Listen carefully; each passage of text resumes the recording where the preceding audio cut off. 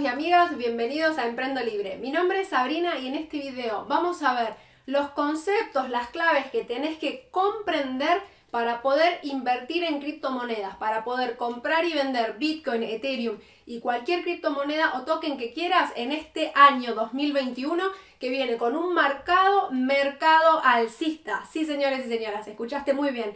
Así que vamos a ver todo lo que tenés que entender sí o sí. Sin esto realmente no compres nada. Así que seguime acá. Dame un me gusta a este video, suscríbete a Emprendo Libre y comencemos.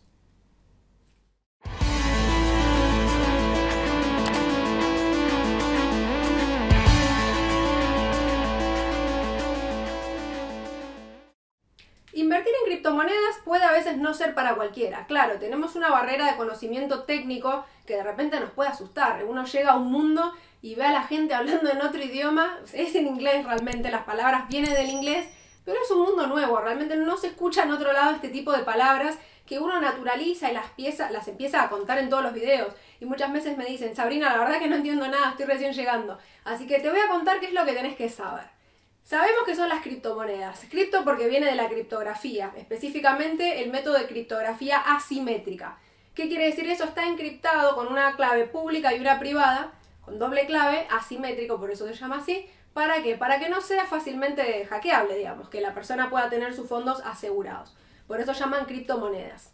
Básicamente la primera es Bitcoin 2009. ¿Y eso qué es? Bitcoin fue diseñado como un sistema de pago electrónico a través de una tecnología disruptiva que se llama blockchain, cadena de bloques. Entonces, lo que hay que tener en cuenta es que es la criptomoneda, que es la blockchain. Es la cadena de bloques, la tecnología disruptiva donde se asienta todo esto. Ahora bien, bueno, ¿cómo hago? Quiero comprar. No compras cuando compras Bitcoin o Ethereum o cualquier token, no es que compras y lo pones en, tu billetera. No, no es que no hay un formato físico, si bien seguramente lo habrás visto por ahí, las moneditas, todo, pero en realidad, ¿qué es cuando uno ve la monedita de Ethereum y de Bitcoin? En realidad lo que hay ahí es las llaves privadas, como te decía recién, criptografía simétrica, clave pública, llave pública, llave privada. La pública se puede compartir, es como una dirección donde uno puede recibir. Básicamente es como un CBU en el sistema bancario, es un, número de cuenta donde cualquier persona te puede transferir, pero no puede hacer más nada. La llave privada es la que sella, la que autentifica que esos fondos pertenecen a esa dirección, entonces al autentificar lo valida y se puede hacer la transacción, por ejemplo compra-venta o transferencia de tokens. Básicamente es eso, por eso siempre hay que ser recontra, recontra celoso cuidadoso de las llaves privadas. Se pierden tus llaves, se pierden los fondos. Es criptografía asimétrica. Viene de ahí. Bien, dicho eso, no son tus llaves, no son tus criptos. Ese es el lema máximo, una frase que hay que tener. Si no son tus llaves privadas, no son tus criptos. Siempre tenés que tener un backup seguro de tus llaves privadas en formato físico. ¿Por qué? Porque todo lo que sea digitalizable, si le sacas foto, captura de pantalla, lo que sea, por más que hagas lo que hagas, Cualquier hacker podría llegar a eso y te roba los fondos. Es así como en unos minutos desapareció. Entonces, formato físico, caja de seguridad, en un baúl, no sé, en donde, el lugar más seguro que puedas o en varios lugares seguros físicos. Dicho eso, ya podemos comenzar a comprar y vender cripto. Bien, el primer concepto que hay que tener en claro, que es el que más me encanta, apasiona, me gusta, me fascina, me vuelve loca mal, hold. H-O-D-L que viene a través de un error en realidad, porque viene del verbo hold en inglés, de H-O-L-D, mantener, sujetar, agarrar. Pero en este caso es primero la D y después la L, a modo de anécdota. Eso surgió hace muchos años en estas comunidades cripto, que tiene que ver un poco con los cyberpunks que había en su momento, ¿no? Todo, hay toda una filosofía atrás de este mundo, por eso a veces no es para cualquiera, hay una filosofía atrás de esto realmente. Es un culto para alguna gente y bueno, nada. ¿Qué quiere decir hold? Comprar y sujetar pase lo que pase por los siglos de los siglos. Es así, o sea, compras y si tenés tu análisis hecho y sabes que eso va a valer en algún momento, por más que baje un 50%, que a veces pasa, sujetas. Toda la paz del mundo, seguís adelante, pasa la tormenta, pasás el huracán y seguís. Eso realmente es lo que da los mejores frutos y resultados. Es la mejor cosecha, doy fe de eso, hago mucho hold de muchas cripto a veces es doloroso, están los miedos, lo ves en la cartera en rojo, pero cuando esto sube, al final del túnel siempre sale la luz, así que hold es la estrategia número uno que da los máximos resultados en cripto. Ese es el primer concepto. Después tenemos FOMO.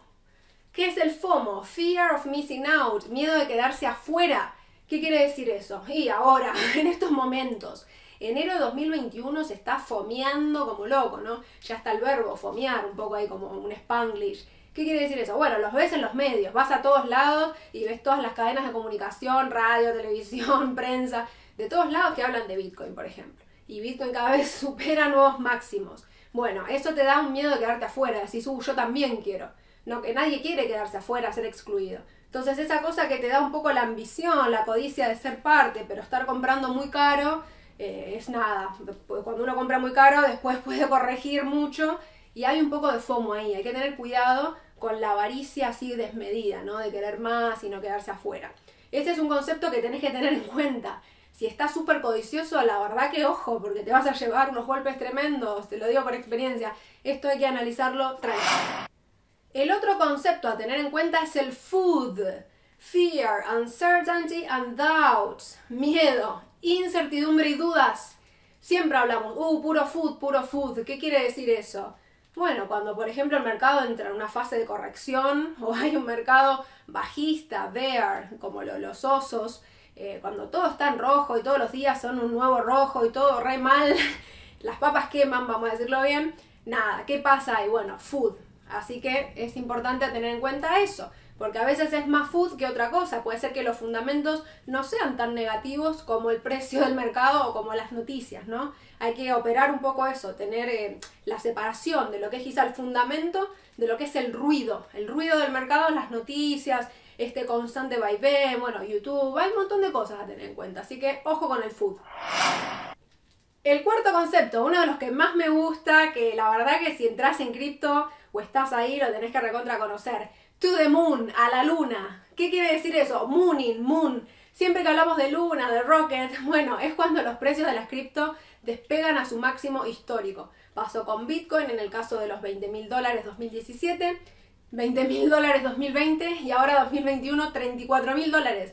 Yo digo que la luna ya la dejamos hace rato para Bitcoin, ya estamos viajando por la galaxia, realmente. Pero irse a la luna quiere decir eso, cuando los precios se disparan y alcanzan un máximo histórico los podemos ver en los gráficos, en el gráfico de análisis técnico, unos velones verdes de este tamaño alucinante, o sea, increíble, de golpe anda medio lateral y de golpe ves ciertos indicadores y empezás a ver tu análisis, que hay de golpe, ¿no? Una tendencia alcista y de repente se vence una resistencia, se pasa y se pegó una vela así. Bueno, eso es un poco irse a la luna si es que después confirma la tendencia.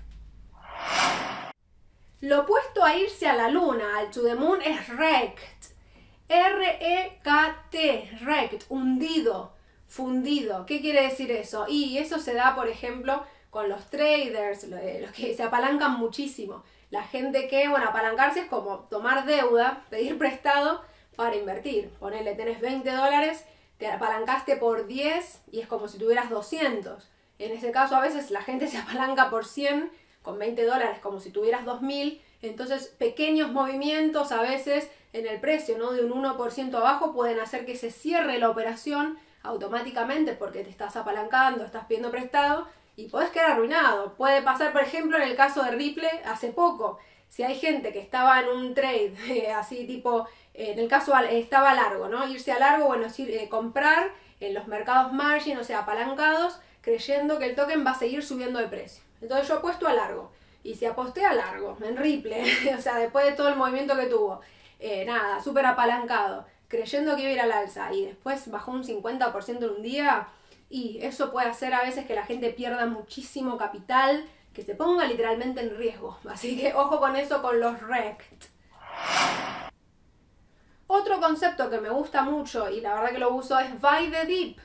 B larga, TD, buy the dip, comprar la bajada. Cuando hay pequeñas correcciones porque está testeando de repente una zona de soporte, hay que seguirlo en análisis técnico, compramos las bajadas. En mi caso, por ejemplo, la última vez compré Ethereum a 585 dólares, que hubo una bajada, y después al día siguiente ya estaba en 700, 800, y a los dos días estaba en 1000. Bueno, eso es buy the dip.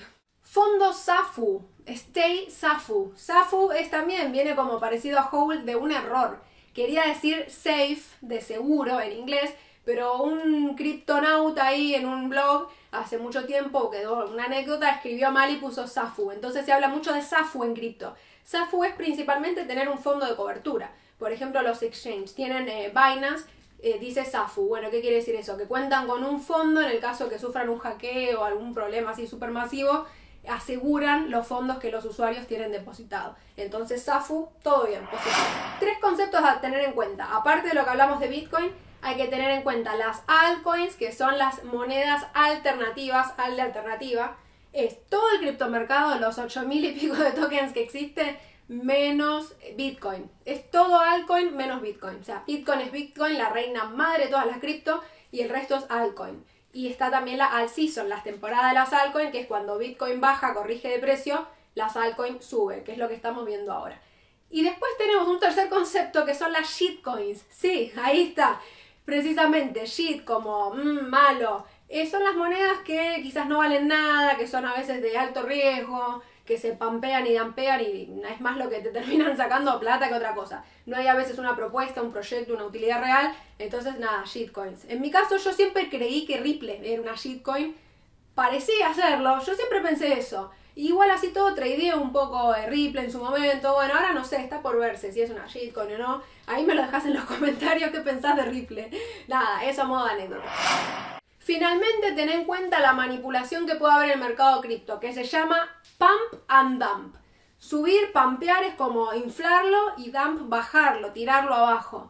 Eso se da, por ejemplo, con las ballenas. El concepto de ballenas son grandes capitales. En el criptomercado se dice a las ballenas las que tienen miles de Bitcoin, miles o millones de Ether. Bueno, hay gente que tiene muchísimo realmente porque son desarrolladores, programadores que vienen del inicio y lograron acumular durante muchísimo tiempo. Por lo tanto, influyen en el mercado. Cuando una ballena, un gran capital, se decida vender, eso puede desencadenar ventas eh, masivas, porque bueno, pasan, ¿no? Son los movimientos de las ballenas.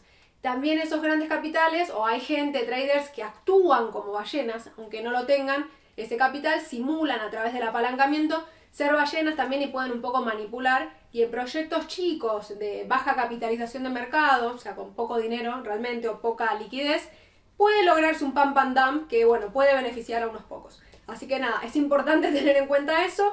Espero que te haya gustado este video y bueno, ahora sí, mandate con todo porque ya sabes cómo funciona, sabes los fundamentos. Te dejo acá en el enlace de la descripción del video algunas notas de mi blog en emprendolibre.com para que veas más conceptos técnicos, para que con toda confianza puedas ver cuál es la mejor wallet para Bitcoin, para Ethereum, los versus, las comparaciones, todo y mucho más. Así que te lo dejo en mi blog emprendolibre.com. Si te interesa ayuda, cosas, asesoría personalizado, lo que sea, y contenido exclusivo sobre trading, suscríbete, metete en Patreon.